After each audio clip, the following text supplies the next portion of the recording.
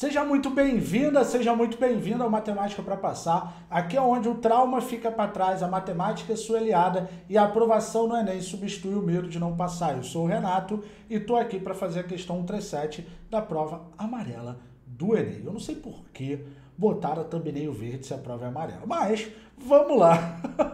não é não? Que loucura, velho, que loucura. Essa questão aí da projeção ortogonal, muita gente ficou tremendo de medo. Então vamos lá. Em um jogo, ó, sempre, cara, vai fazer as questões, use o método dos 50. Mas, Renato, o que é o método dos 50? Galera, é um método muito poderoso que vai te ajudar muito na hora de resolver as questões, que é onde você aprende a interpretar. Vamos lá. Ainda mais Enem, muito texto, né? Em um jogo desenvolvido para o uso no computador, objetos tridimensionais vão descendo do alto da tela até alcançar o plano da base. O usuário pode mover ou girar cada objeto durante sua descida. Vou deixar só o texto, porque eu estou na frente, daqui a pouco eu volto, né? Durante sua descida, para posicioná-lo convenientemente, no plano horizontal. Um desses objetos é formado pela justa posição de quatro cubos idênticos, formando assim um sólido rígido, como ilustrado na figura. Para facilitar a movimentação do objeto pelo usuário, o programa projeta ortogonalmente, que é o que? Formando 90 graus, esse sólido em três planos quadriculares perpendiculares entre si durante sua descida. A figura que apresenta uma possível situação, posição desse sólido com suas respectivas projeções ortogonais sobre os três planos citados durante sua descida é. Aí você, meu Deus, aí está. Ai, Jesus, como é que eu vou fazer? Calma. Primeira coisa, a projeção ortogonal vai vir para cá, ó. Por exemplo, essa figura aqui, eu vou tirar daqui, ó, esse carinha de vermelho, tá vendo?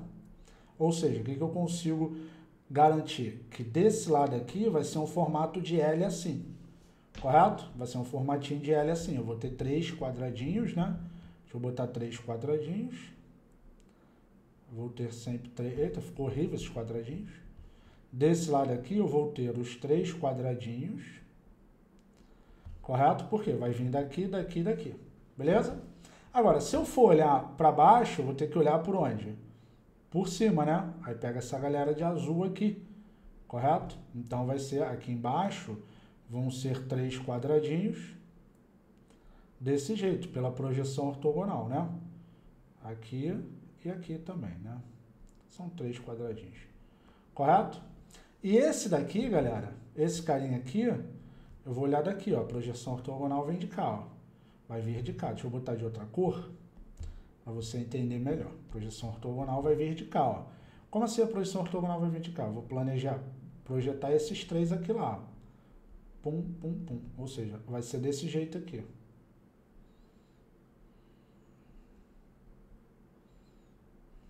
Beleza? Vai ser desse jeito aqui.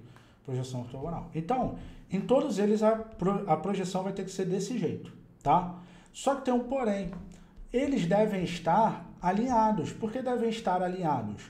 Porque eles vão estar ali no mesmo plano, ou seja, esse carinha aqui, o que vai diferenciar, além dessa figura da projeção ortogonal, que eles devem estar alinhados. Olha aqui, ó. Esse daqui não está alinhado. Por quê? O outro, esse quadradinho, deveria começar aqui, ó, para estar tá alinhado com esse. Então não pode ser a letra A. Tira a letra A. Vamos ver a letra B, mesma coisa, tem que ser esses quadrados. Ó, beleza, aqui está o quadradinho vermelho, ó, do jeito que eu vi que tem que ser a projeção ortogonal. Aqui está o quadradinho, estão os quadradinhos roxos, do jeito que eu vi, e aqui embaixo estão os quadradinhos que eu botei de azul, beleza. A figura bateu, porque tem que bater a figura e tem que estar tá alinhada. Agora eu vou ver aqui se está alinhado, ó. Como é, é tudo perpendicular, deve estar alinhado. Está alinhado? Não. Mas o que seria ser alinhado?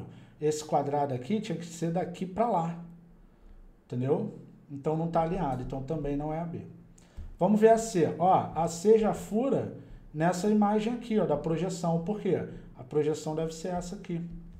Então a C eu nem troco ideia, já está errado. A D, vamos ver a D, ó. A projeção está aqui certinha, tá vendo? Tá igual. Aqui de roxo também tá igual. E a de azul, ó, a de azul ele trocou. De azul ele trocou, não é, porque a projeção ortogonal é o contrário, a projeção ortogonal, ortogonal vem de cima. Então a letra D está errado. Galera, não é A, não é a B, não é C, não é a D, só pode ser quem? A E. Marca o V da vitória e vai ser feliz. Agora, por que a E está correta, galera? Vamos lá. Olha aqui, ó. O vermelho. A projeção está aqui certinha, igual está aqui, tá? O roxo está certinho, o roxo. E o azul também está certinho aqui, correto? As figuras estão certas. Agora, vamos ver se está alinhado, ó. Olha que lindo, tudo alinhado, ó. Tá alinhado. Aqui também tá, ó, alinhado, tá vendo? Tá tudo alinhado. Deixa eu apagar essa partezinha aqui, para você ver que tá tudo alinhado,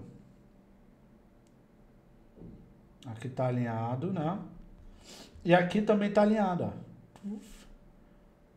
Tudo alinhadinho. Então, por isso que o gabarito é a letra E. Beleza? Se você está no nosso curso para o Enem, as, as questões na parte de correção de provas, parabéns por ter chegado até aqui, já viu toda a teoria. Se você está vendo no YouTube, muito bom. Compartilha com alguém que precisa aprender e coloca aqui como eu te ajudei, beleza? Se tu não está inscrito no nosso canal, inscreva-se e vem estudar com a gente pelo nosso curso do Enem. Tamo junto, para cima deles. Até a próxima questão do Enem aqui. Valeu!